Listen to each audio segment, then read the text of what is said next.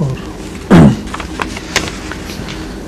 ये पाकिस्तान से एक दोस्त ने सवाल भिजवाया है वो लिखती है कि मेरे एक अहमदी दोस्त ने पूछा है कि सही मुस्लिम की हदीस में अल्लाह ताला ने फरमाया है कि अगर ये दुनिया गुनाहगार न होती तो मैं उसे तबाह करके दूसरी मखलूक पैदा करता जो गुनाह करती और मैं उसे बख्श देता। इस हदीस में क्या हिकमत पोशीदा है? ये जो हदीस है ये हदीस दुरुस्त है मगर इसका मजमून पेचीदा है और ना समझने के नतीजे में इंसान बहुत बड़ा रूहानी नुकसान उठा सकता है। इस हदीस की मिसाल उस हदीस से है, जिसमें सल्लल्लाहु अलैहि वसल्लम ने अबू हुरैरा से फरमाया कि, मन काला ला इल्लल्लाह। मोहम्मद ने फरमाया, मन काला ला इल्लल्लाह फदखल जन्नह और हज़रत अबू हुरैरा ऐलान करने लगे।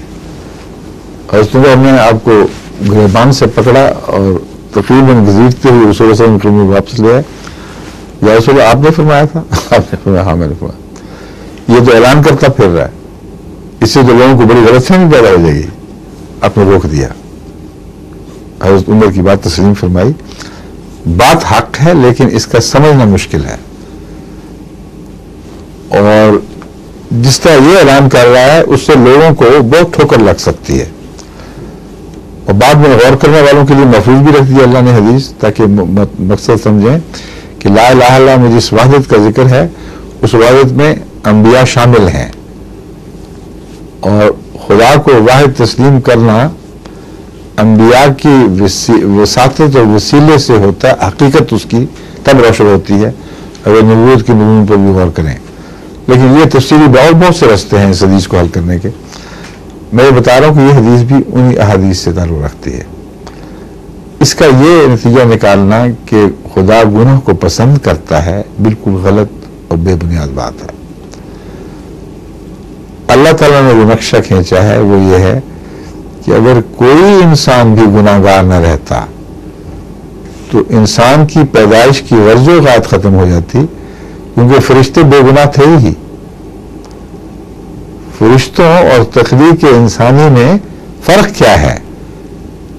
गुनाह की सलाहियत, यानी नेक व बद की तमीज में ये फैसला करना कि मैं नेक को इख्तियार करना है या बद को इख्तियार करना है, ये इंसानी लामतनाही तरक्की के लिए एक गुर के तौर पर, बुनियादी एक जारी सारी ताकत के तौर पर खुदा तला ने इंसान को फजीलत बख्शी है ये।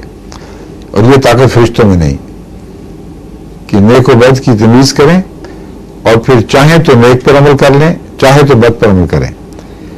इसे खुदा ताला ने एक गैर मामूली ताकत के तौर पर पेश किया है। ये ताकत है जो तमाम इंसानी तरक्की और तनजुल की तनजुल की वजह अव्वल है और इसको समझने से इंसानी तनजुल और तरक्की के रास्ते समझ आ जाते हैं। इस हदीस के इस मजमून से ताल्लुक है। बस अल्लाह ताला ने जिस गरज से इंसान को पैदा किया था, उसमें उसका गुनाहगार होने का रास्ता इख्तियार करना एक तभी तौर पर दाखिल था। बस ये एक फ़र्ज़ महाल के ताल्लुक में हदीस है। एक इम्कान के तौर पर नहीं है।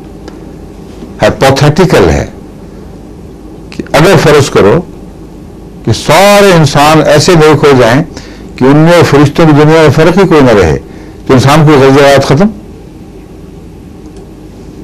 फिर खुदा एक और मखलूक पैदा कर सकता है और कर देगा। ये एक हाइपोथेटिकल फिलोसॉफिकल क्वेश्चन है। एक इम्कानी नजरियात की दुनिया का एक इम्कान है, जिस पर बहस उठाकर इंसान की वर्जरात पर रोशनी डाली है। इससे यह इस्तेमाल करना कि गुनाह खुदा को पसंद है, इसलिए हम भी कर लें। ये नहायत ही जहलाना तस्वुर है, जो खुदकुशी के मुतरदफ है। उसकी वजह यह है कि वो सूरत जिसमें खुदा ने इंसान को खत्म करके दूसरा जिसका तुम समझते हो सवाल करने वाले, पैदा करना था, उस सूरत में तो एक भी जब तक गुनागार बाकी है, उस वक्त तक बाकियों की बेगुनाही खुदा को नापसंद नहीं है, बल्कि महबूब है। और उस वक्त तक गुना भी नापसंद है। दुनिया गुनागारों से भरी पड़ी है नेक ढूंढना मुश्किल हो रहा है। और तुम ये समझ रहे हो इस से कि अल्लाह ताला को नेकियाँ ही पसंद नहीं, गुन- नेकियाँ पसंद नहीं, गुनाह ही ज़्यादा पसंद है। इसलिए एक मैं भी इजाफा कर दूँ उन गुनागारों में। नहायत ही जहराना ख्याल है। समझ? अब तो मेरे ख्याल वक्त हो गया है ना? ठीक है। एम वक्त पे आज हमारा हमारी मरीज़ खत्म हुई है। जजाकुमुल्लाह अलैक्म